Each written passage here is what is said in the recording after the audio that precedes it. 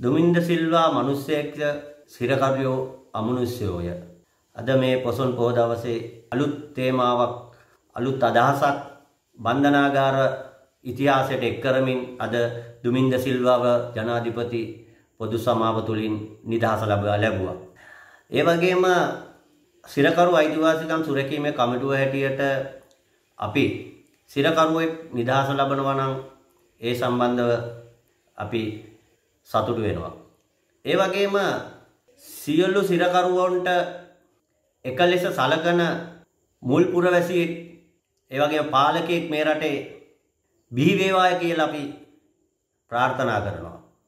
අනිකුත් සිරකරුවන්ට නොලැබෙන සමාවක් අද දුමින්ද සිල්වට ලබා දුන්නා. ඒ වගේම දෙමළ ගම්වාසීන් දෙමළ වැසියන් මෙන්ම කුඩා දරුවෙක්ගේ බෙල්ල කපවලා මරලා දාපු මේච්ච ඝාතනයක් සිද්ධ කරපු සුනිල් රත්නායකට අවුරුදු 5ක් වැනි කෙටි කාලයක් තුලදී මරණීය දණ්ඩන කීපයක් ලබා තියෙද්දී ඔහුට ජනාධිපති පොදු සමාව ලබා දුන්නා.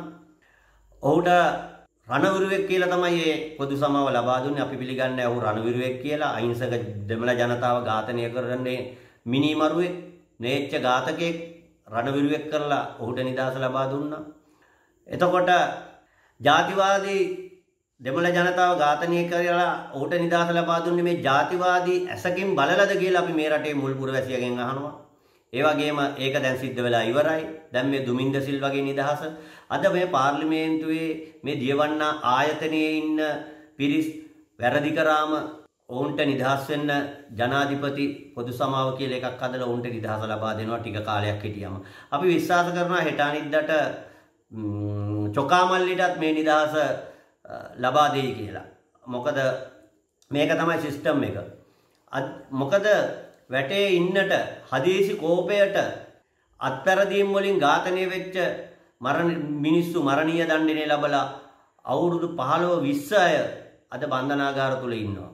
ඔවුන් බන්ධනාගාර තුල කිසිදු අයිතු දෙයක් කරපු අය නෙමෙයි. ඔවුන් ඒ ඔවුන්ට ලබා දීපු දඬුවම ඔවුන් විඳගෙන ඉන්නවා. එහෙනම් අපි කියනවා මේ මේ මිනිස්සුන්ටත් මේ දුමින්ද සිල්වට ලබා දීපු සමාව ලබා දෙන්න ජනාධිපතිතුමාගෙන් අපි ඉල්ලනවා. ඒ මිනිස්සුන්ටත් ඒ ආකාරයෙන්ම නිදහස ලබා දෙන්න. අද ඒව කරන්නේ නැතුව අද බොහොම ෂේප් වෙන්න අද LTT සැකකරුවන් කියලා මේ ත්‍රස්තවාදී පනත යටතේ හිටපු කීප දෙනෙක්වත් දුමින්ද එක්ක අද බොහොම ලස්සන නාට්‍යයක් රඟපාලා අද දුමින්ද සිල්ලවත් නිදහස ලබා දුන්නා. ඇත්ත වශයෙන්ම මේක නෙමෙයි වෙය යුත්තේ.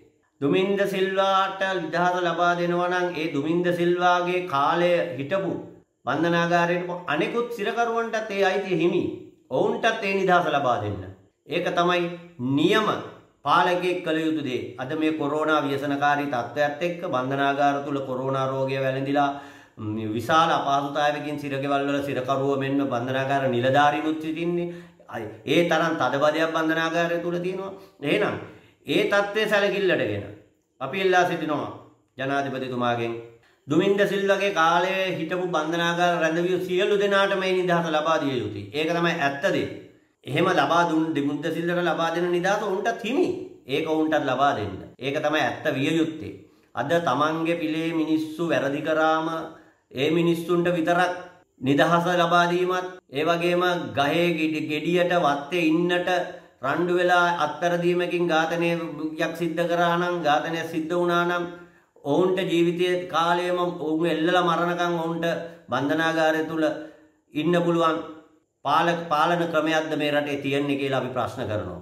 ඒ නිසා ඒ වගේම අපි දැක්කා අමාත්‍ය නාමල් රාජපක්ෂ අද ප්‍රකාශයක් කරා හිරු නාලිකාවේ අපි දැක්කා.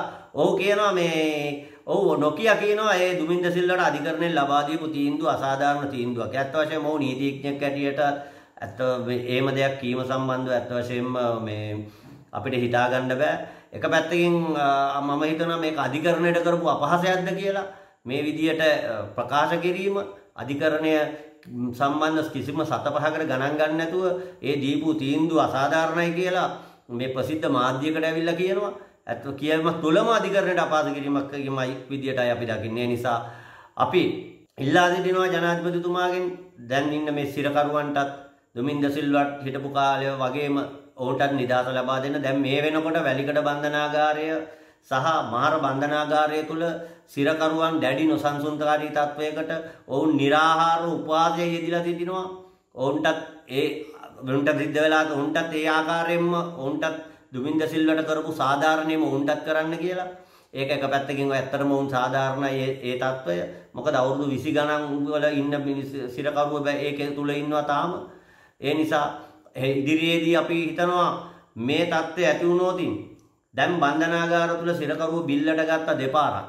වැලිකඩ බන්ධනාගාරය සහ මහර බන්ධනාගාරයේ ලේ වැගිරීමක් කරලා සිරකරුව විශාල පිරිසක් මේ වෙනකොට ඝාතනය කරලා තිනවා.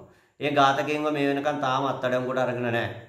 ඒ නිසා අපි හිතනවා මේ අපිට සැකයක් තියෙනවා මේ නැවත සිරගෙදර සිරකරුවන් සිරකරුවන්ගේ ඝාතනය කිරීමේ සැලසුමක්ද මේ අද දිනේ ක්‍රියාත්මක කරේ කියලා. මේ දුමින්ද සිල්වාව එළියට දාලා ඇතුළේ ඉන්න සිරකරුවන් කුපිත කරලා. අපිට අපිට හිතනවා එහෙම දෙයක්ද මේ සිද්ධ කරේ කියලා.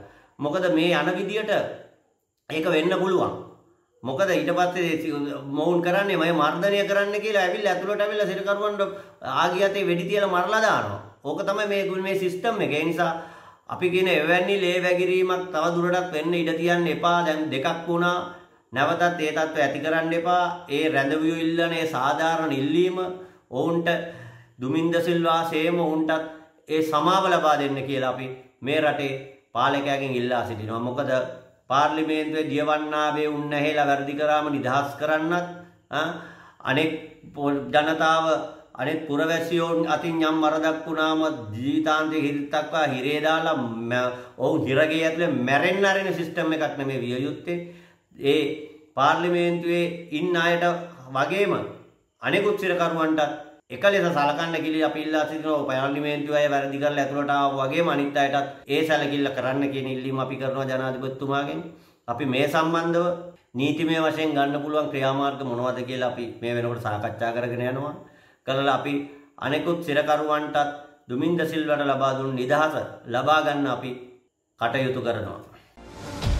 The News Reporter වාරණයෙන් තොර අපක්ෂපාති වාර්තාකරණය